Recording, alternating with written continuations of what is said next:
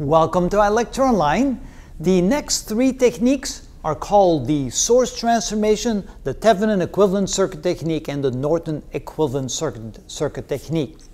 So the source transformation is sometimes a very handy method when we have a lot of branches and we want to be able to convert from a, a, a series branch where we have a voltage source and an impedance to a parallel branch where we have a current and the impedance. Notice that the impedances are the same, but the relationship between the current in the one instance and the voltage in the other instance can be drawn from these equations right here.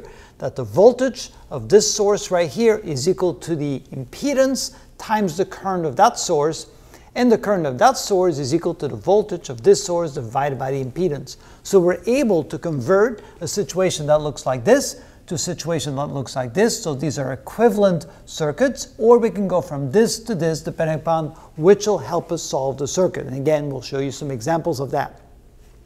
The next two techniques are, are very related to one another. The Thevenin equivalent circuit is typically used when we want to remove the load resistor or the load impedance. So we have a circuit right here, we have a load impedance, and then what we do is we remove the impedance and we then calculate the Thevenin voltage and the Thevenin impedance. Notice that to find the Thevenin voltage, we will remove the load impedance to find, and then we go ahead and we calculate the Thevenin voltage across that gap right there. And to find the Thevenin impedance, replace the volts, the voltage sources by a short. In other words, we set the voltage source equal to zero, but we keep the circuit there, we keep a short circuit there. And we replace the current circuit or the current sources by an open. We simply remove the current sources and we leave the circuit open.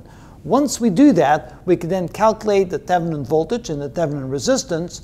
Notice that in the case of using the Norton equivalent circuit, the Thevenin the Thevenin impedance is the same as the Norton impedance. So we use the very same me method to find the Norton impedance as we did for the Thevenin impedance.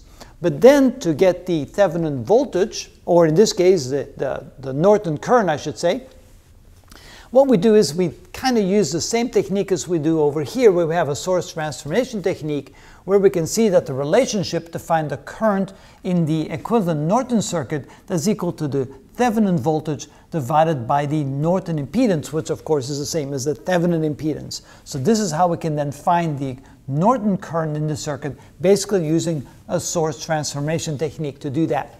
But notice these are the next three techniques on top of the first three techniques. Six nice techniques to use to solve AC circuits, basically to do what we call AC circuit analysis, which means we're going to be able to find voltages at any node in the circuit and currents through any branch of any circuit as well. And so what you'll find is that when you try to apply these techniques to AC circuits, things become a lot more complicated because we have to, of course, work in the frequency domain instead of the time domain, and that makes things a little bit more a little bit more complicated and very easy to make mistakes. And once you make one little mistake somewhere, of course the answers you're going to get are not going to be correct. And so we'll show you techniques of how to try and avoid making those mistakes so you can get indeed the right answers with each of these techniques. So stay tuned. We'll have lots and lots of examples for you using the six methods that we just uh, had a quick overview of for.